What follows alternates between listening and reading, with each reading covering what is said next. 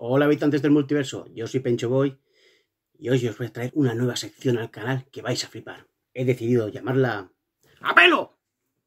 ¿Y por qué apelo? Bueno, en esta sección pretendo hacer análisis de eventos, cómics, pelis, de lo que me salga de los bolondrios.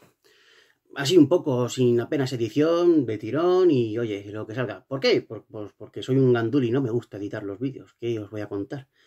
Así que bueno, hoy, como veréis en la miniatura, voy a hablaros un poco del ataque Snyder Justice League. Pero no os voy a hacer una crítica, porque desgraciadamente no la he visto, la veré el día 18 como todo mortal e hijo de vecino, sino un poco de cómo hemos llegado hasta aquí. Y lo voy a hacer un poco desde mi punto de vista como fan. Así es que, comienzo. En 2017 yo vi la Liga de la Justicia que se estrenó en cines y debo de ser de los pocos a los que les gustó. Yo debo admitir que la Liga de la Justicia de Josh Whedon me gusta. No es una gran película, tiene muchísimos fallos, pero yo qué sé, me parece muy entretenida. Es verdad que con el tiempo empecé a verle más las costuras. Y cuando fui conociendo un poco todo el proceso que nos llevó a esa película y lo que viene después, pues la verdad que el desencanto aún fue mayor. Como muchos sabréis, durante el rodaje de la Liga de la Justicia, la hija de Zack Snyder, Autumn de 20 años, se suicidó. Eso debe ser lo peor que le puede pasar a un padre y además de una manera muy cruel. Zack Snyder, roto de dolor y hastiado de discutir con los productores, terminó abandonando la película y llegó Josh Whedon para rematarla. Bien.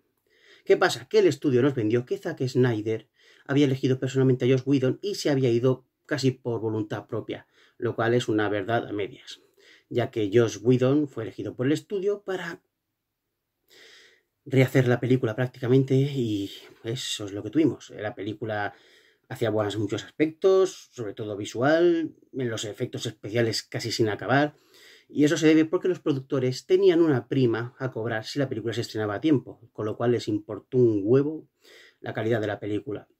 Eso se demuestra en algunos comentarios que hemos sabido después de algunos productores de Warner que sabían que la película era una castaña.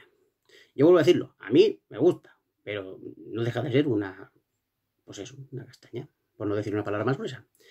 Bien, tras el fracaso de crítica y de público de la Liga de la Justicia, hubo un movimiento en las redes que comenzó a surgir su fuerza. Release de Snyder Cut. Yo debo admitir que a mí me parecían unos fricazos que con tiempo libre. Eso al principio. El movimiento fue cogiendo fuerza y a medida que cogía fuerza nos fuimos enterando de varias cosas, como que Josh Whedon fue un déspota durante el rodaje, ahí están las declaraciones de Ray Fisher, que incluso los acusa de racismo. A ver en qué queda la cosa. Eh, el movimiento seguía, hacía cada vez más ruido. Zack Snyder incluso comenzaba a colgar fotografías, pequeños vídeos, hablar del tema. Y vuelvo a decir, yo pensaba, bien, me daba lástima Zack Snyder porque imagino que aún tendría cierto resquemor por todo lo que le había pasado. Pero eh, personalmente pensaba que estaba yo un poco pesadete. En esa época, en esa época. No me crucifiquéis todavía, que aún no he terminado. Bien, en 2019 como toda buena película, hubo un giro en los acontecimientos y AT&T compra Warner Bros. ¿Qué pasa? Los directivos de AT&T, que no son tontos, tuvieron una charla con Zack Snyder para ver ese famoso corte que según los ejecutivos de Warner no existía. No existía. Para los ejecutivos de Warner todo era mentira. El corte de Zack Snyder era una quimera. Bueno, pues esa quimera fue visualizada sin terminar los efectos por los ejecutivos de AT&T. Y dijeron, what the fuck, esto es cojonudo.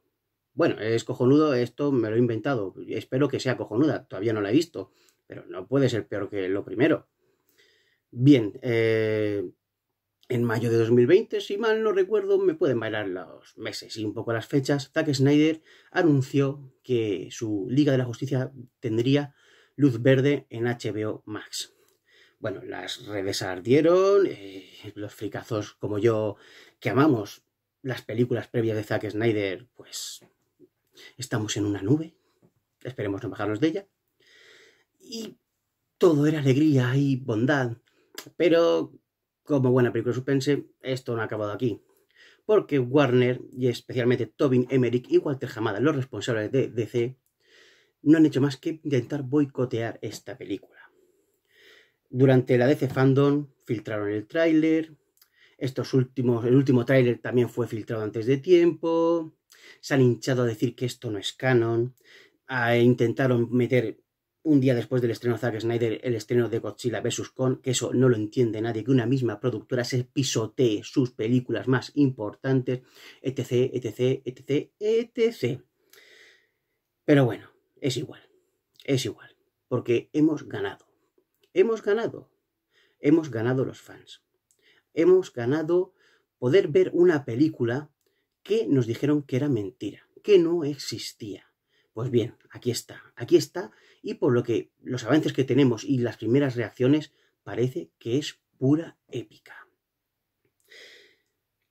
El boicot no ha tenido éxito, Zack Snyder en cierta manera va a poder cerrar la herida que quedó abierta con la muerte de su hija, esto no se lo va a devolver, pero puede paliar su sufrimiento y yo para mí eso ya merece la pena que un director, un artista pueda terminar su versión y su visión. Nada más que por eso siento que tenemos una victoria, tanto si eres fan, si no eres fan, que yo qué sé, la verdad es que ya no tengo muchas palabras, así que por este Batarán del mejor Batman de la historia, que es Batfleck, me despido, larga vida y prosperidad.